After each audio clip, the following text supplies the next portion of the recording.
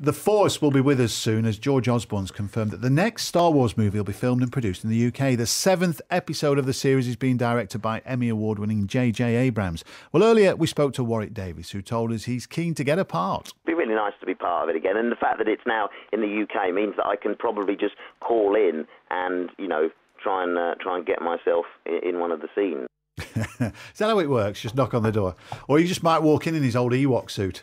Uh, Mark Newbold is the co owner of the Star Wars fan website Jedi News and writes for the magazine Star Wars Insider. Hello, Mark. Good morning. How are you doing? I'm all right. You, could you see Warwick Davis in the new one for a start off? Would you uh, recommend him? Definitely recommend him. Yeah. He should do exactly that. He should just knock on the door and Yeah. walk in. Well, if you turn up as an Ewok, it's hard to refuse, isn't it, really? It is. We did discuss with him the possibility of him playing, playing he wanted to play a villain. Yeah. And so we said this he would be the Ewok that's Ewok that's gone rogue. Yeah, why not?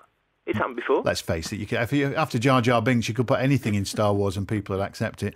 Uh, how excited are you, Mark, that it's going to be filmed here in the UK? Very excited. It, it's great news, and it's Star Wars coming home because I mean, you know, the original three movies filmed here in, in large part. So did uh, Phantom Menace, filmed at Leavesden, uh, and even the other two had pickups and, and reshoots and such filmed here. So they've all they've all had an element of, of, of being filmed here. Now- um, yeah, it's it's very good news. The elephant in the room here.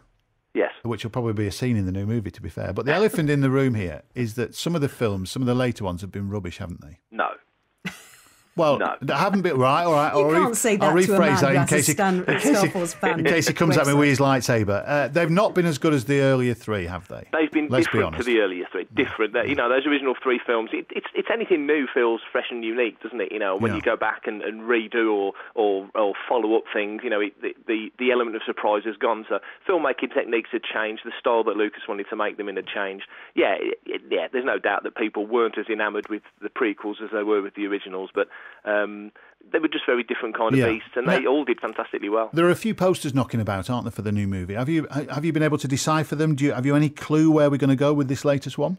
Haven't got a clue whatsoever. I mean, there's a lot of subject uh, of conjecture, rather. You know, people sort of guessing that you know maybe Luke's going to become the bad guy, maybe the Empire's not going to be the, the evil Empire, and things are going to tweak around and change. But really, nobody knows. You know, they're still deep in, in production on the film and, and on the script. Even you know, they're nowhere near getting that finished. Yet Yet. we hear that Harrison Ford and Carrie Fisher might be involved. Um, Mark Hamill turned up at a screening of Return of the Jedi last weekend, and all but confirmed that he was going to be in it and that Carrie was going to be in it. But it was a bit more cagey about Harrison. But uh, fingers crossed. Well, if they are going to be in it, bearing in mind it was 1977, the first one, it's a fair bet to say it's, life's going to have moved on a bit for them all. Yeah, I mean, nobody knows for certain, but in, out here in fandom, which is always choppy and, and changing all the time anyway, but people seem to think it's going to be sort of 30, 40 years on, so it'll kind of be like a next generation. It'll be the next generation of heroes, essentially. All right. Well, we look forward to it. Mark, good to talk to you. Pleasure.